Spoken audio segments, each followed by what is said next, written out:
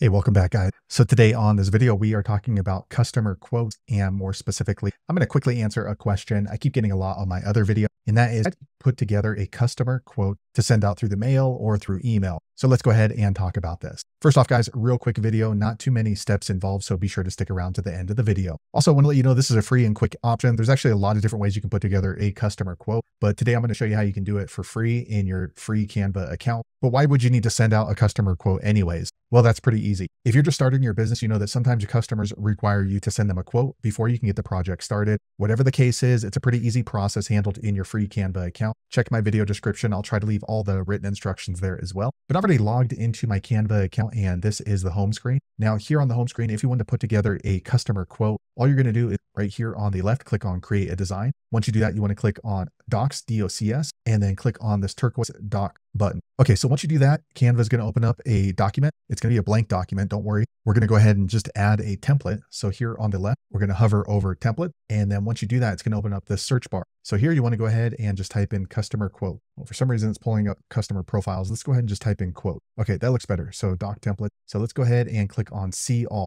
Okay, so now you can see all of the different customer quotes that are available. So you can see there are quite a few. Most of them are free, but if they have a crown right here or if they have a dollar sign, there will be a cost associated with that. So we can choose this one. This was says insurance quote. This one's a sales quote. Let's go ahead and use this one, sales quote. Okay, so now you can see the custom auto populates into our document. And then it's also showing other versions of it. So you can go ahead and look through here and see if you like these a little more. For me, this one looks good. So I'm going to close this down. Okay, now we can go ahead and start editing our customer quote. So let's see here. First off, looks like this is the name life catch or cash. So if you hover over these, you can see that you can just click into these and then change it. So we'll change this one to 90006 and then we'll just double click on this, California, Maine, and then maybe we're going to send this out to somebody named Michael. Okay. And then if you scroll down a little bit, we can go ahead and make edits on here. So it's just like setting up a Facebook page. You can go ahead and switch it around as you see fit. If you don't like this little banner up here, you can go ahead and just make sure the purple dot is around it. And then you just kind of click delete, or you can click the trash can right here and that's deleted. And then here we can go ahead and make adjustments. So maybe they're buying a roofing replacement and the price is going to be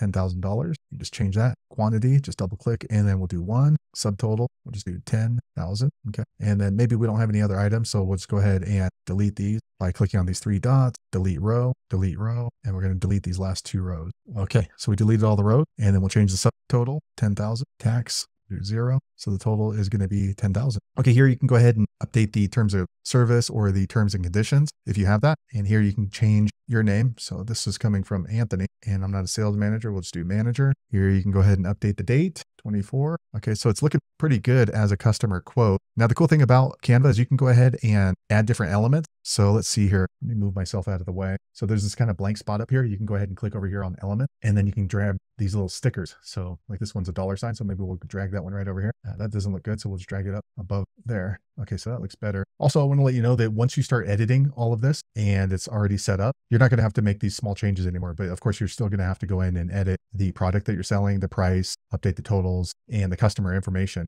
But aside from that, this is going to be much quicker the next time you set up your customer quote. Now, if you want to add any kind of pictures, you're just going to go over here and click on upload, and then you can grab any pictures that you might have already put into your Canva. So I just have these two pictures. If not, you can go ahead and upload an image from your computer and then save it here to your Canva storage. And then maybe we can go ahead and grab this picture, drag it on over. Okay, so now that just placed it up above the dollar sign. So we'll shrink that down and maybe we want that instead of the dollars. So we'll click here. Okay, so overall that looks pretty good as a customer quote for me. So lastly, I want to go ahead and change the name of this to customer quote Anthony. All right. That way I can reference it later when I want to send out another customer quote. Let me move myself out of the way. All right. Lastly, what you want to do is click on share here on the top right and then click on download. Okay. Now you want to choose the file type. You can do a Word document or you can leave it a PDF. Okay. And then I'm going to click on download. Okay. So here is what my customer quote looks like that we just put together. So I can go ahead and email this out to my customer, or I can go ahead and even print it out and drop it in the mail. So there you have it, guys. If you're wondering how to put together a customer quote for free using your free Canva account, that's the easiest way I know how to do it. If you know an easier way, be sure to leave a comment below. Let the rest of us know how you did it. Hopefully you found that video useful. If so, click thumbs up or maybe consider subscribing to my channel and hope to see you on the next video. Thanks again for watching.